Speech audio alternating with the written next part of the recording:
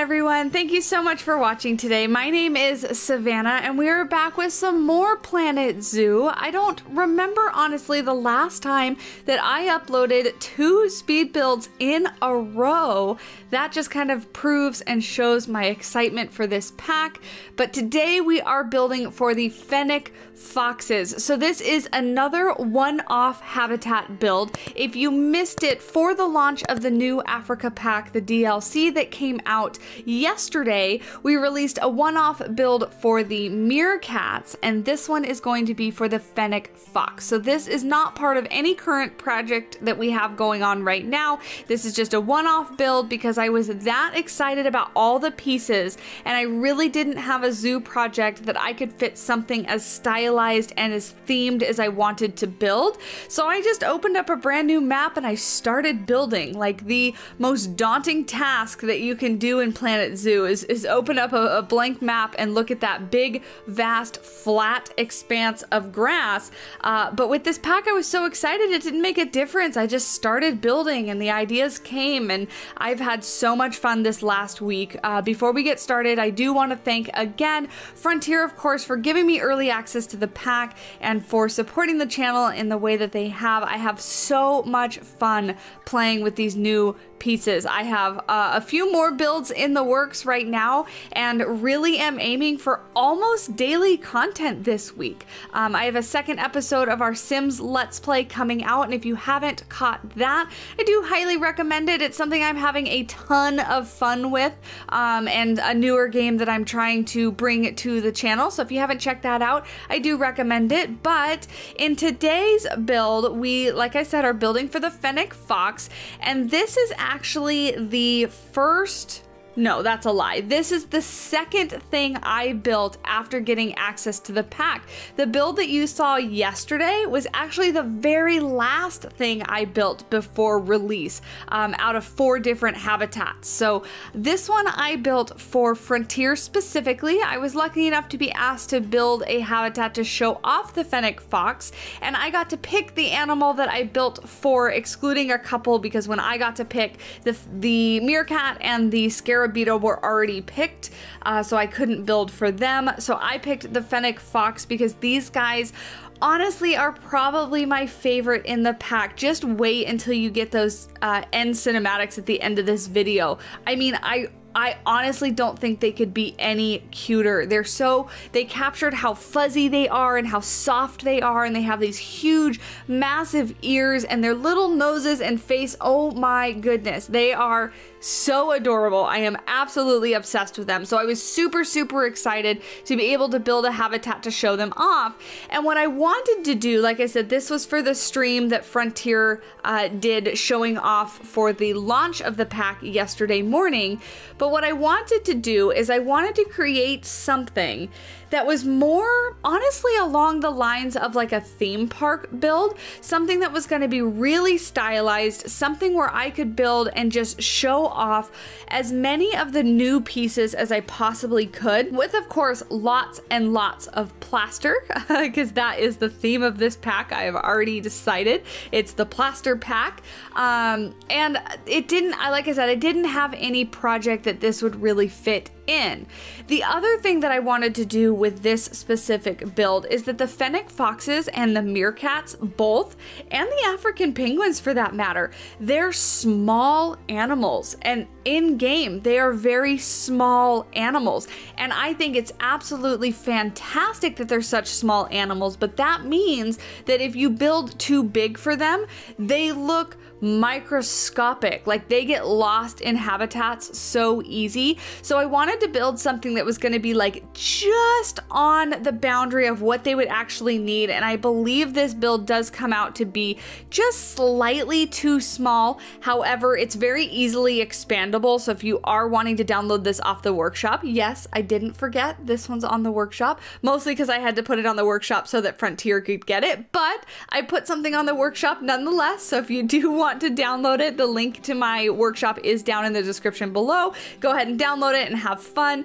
So you can easily expand this is my point. Um, if you do want to play in, you know, in franchise or something like that, or play with animal welfare on, you are welcome to do that.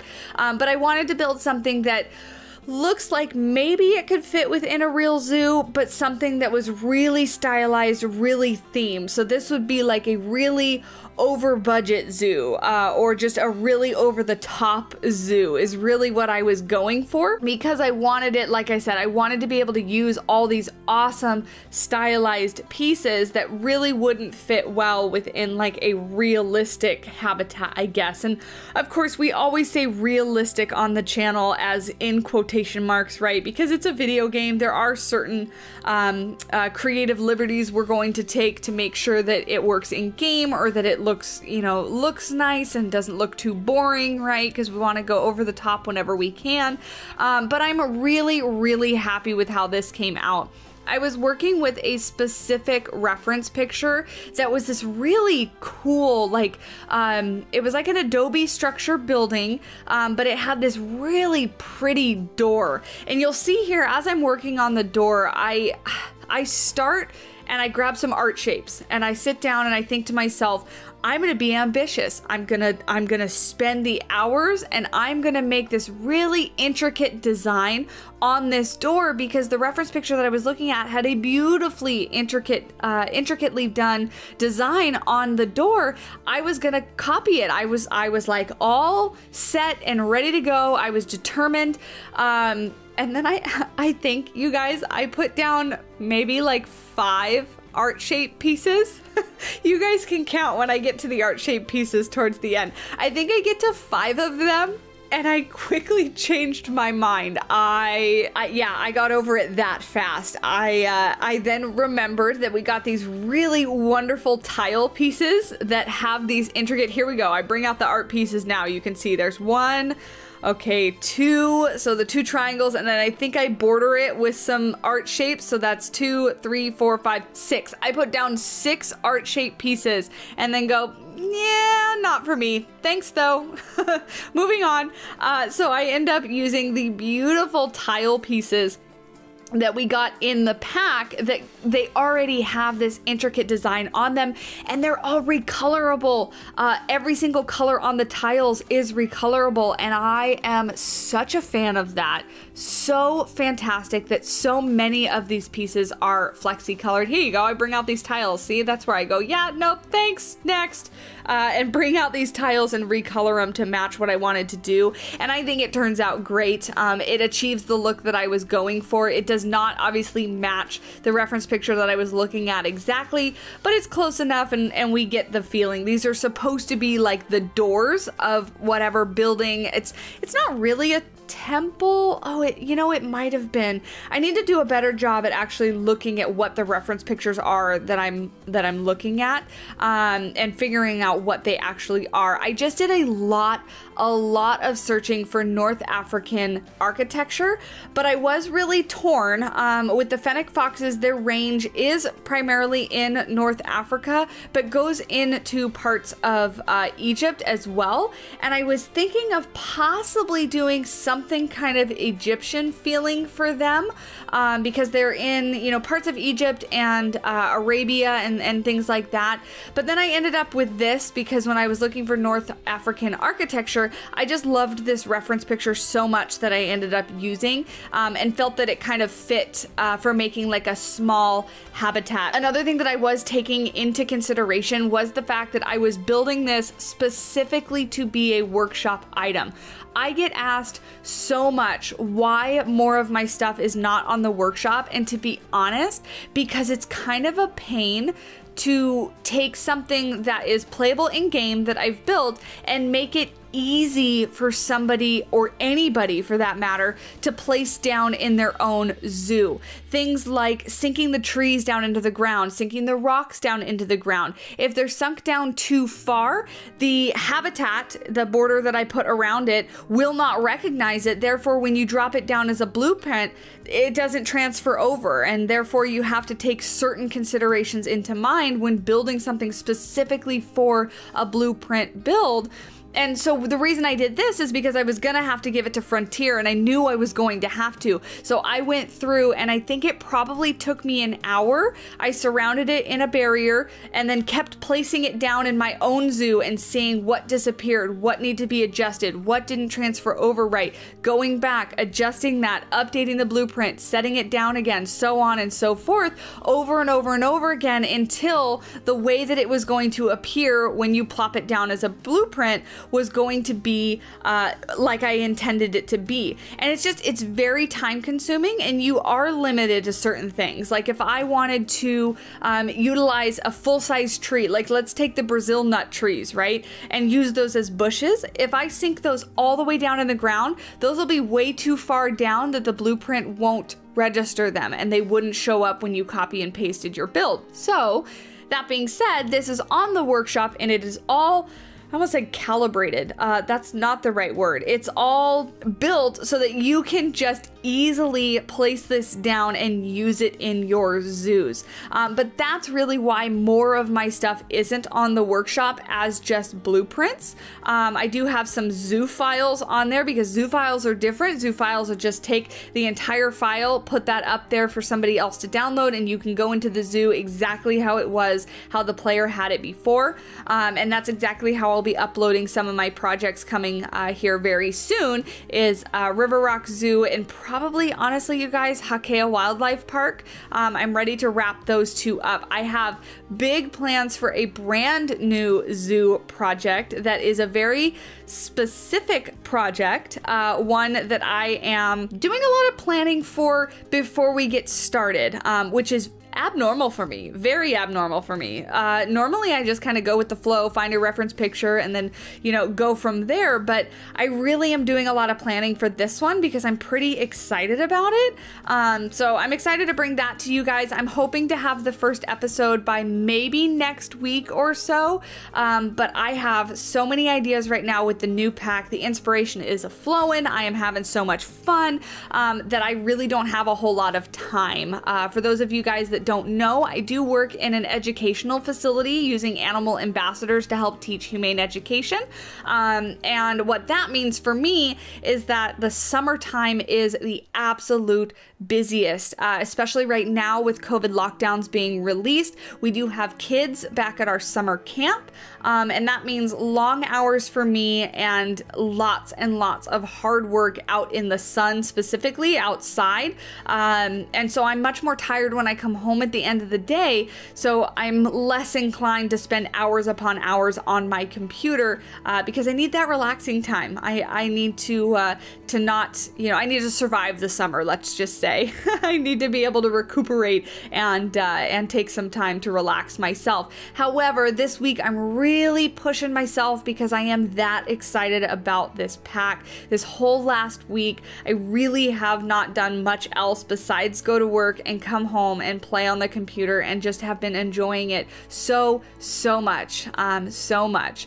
That brings me to what you guys I'm sure are waiting for because you can see it in the title. I do have some keys to give away. So specifically, I have um, two Africa Pack DLC codes that we'll be giving away on this video today. I do have a few more, but those will be over on either my Instagram or my Twitter. So if you're interested in winning the Africa Pack, um, I'll give you some directions on how to win it at the end of this video. But if you don't win or want another chance or multiple chances, do make sure to follow me on both Twitter and Instagram because I'll be giving packs away over there as well. Links are down in the description to all my social medias, my Twitter, my Instagram, and my Discord. So do make sure you follow me on all those spaces. Keep up with everything that I'm doing because I do have much more Planet Zoo content planned. Um, we have things like Let's Build a Zoo. We covered that. I'm waiting for that full release, which I'm crossing my fingers that will be very soon.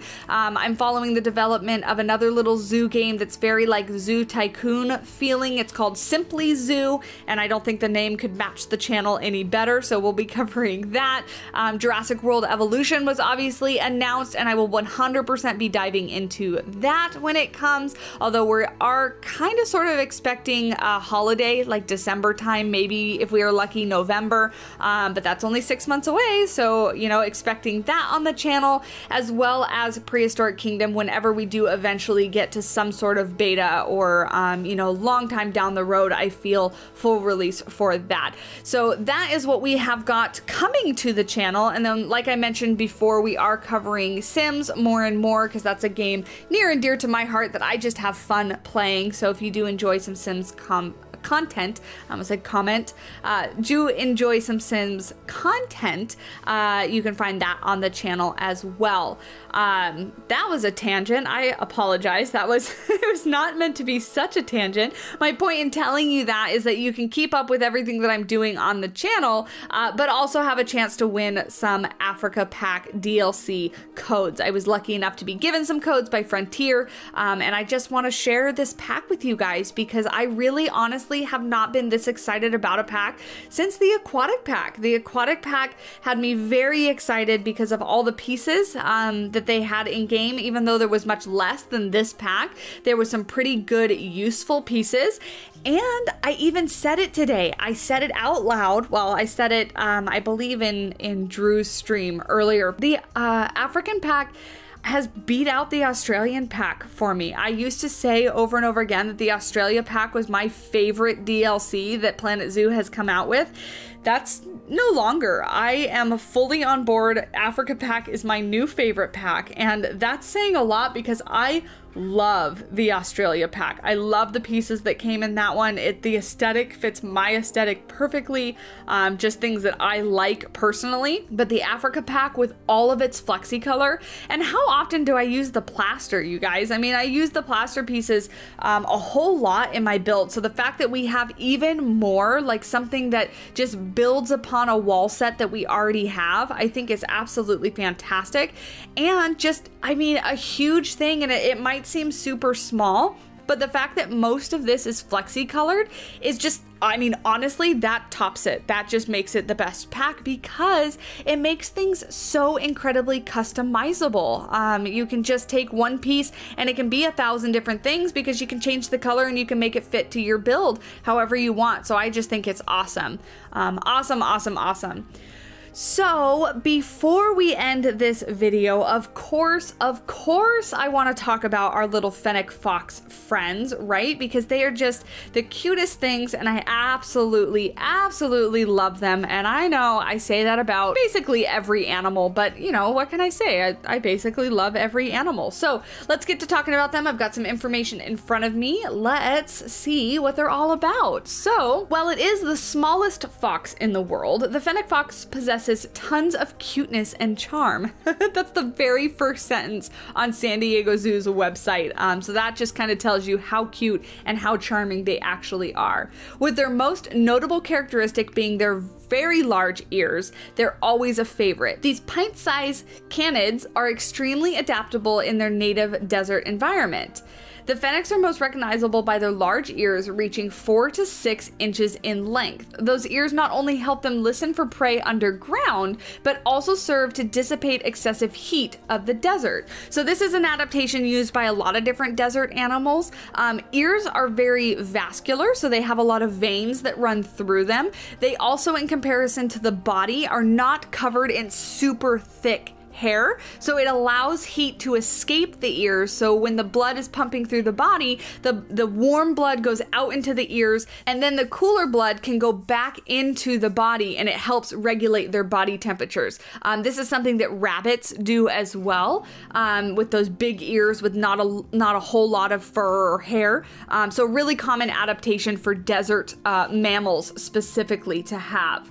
They have thick sandy colored coats that help keep them warm warm at night and reflect the sun during the day. They even have fur on their feet to protect the foot pads from the scorching ground. We just talked about foot pads in my uh, not yesterday's, but uh, before that, the snow leopard speed build because they have padded fur on their feet, uh, on their feet, on their feet, uh, because they want to protect themselves from the snow and the cold. These guys have it to protect them from the scorching sand on the ground. So as we mentioned, fennec foxes live in deserts and semi-desert habitats. The home range of these foxes is widespread through the deserts of the Sahara and through North Africa. They burrow into sand dunes during the day to avoid the extreme heat. These cool dens can be up to three feet deep.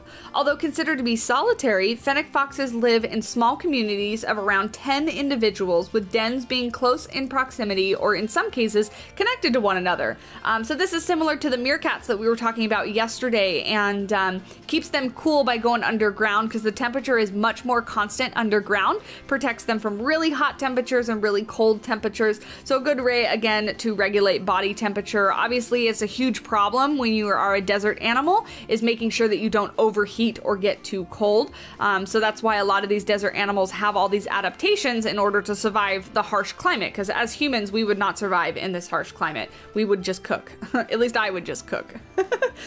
Fennec foxes are mostly nocturnal animals. They spend most of the day in an underground burrow avoiding the desert heat. They emerge from their dens at dusk to begin to search for food. Again, not uncommon for desert animals to be either nocturnal um, or crepuscular. Crepuscular means that they are active during dawn and dusk, so the early morning or late hours of the evening.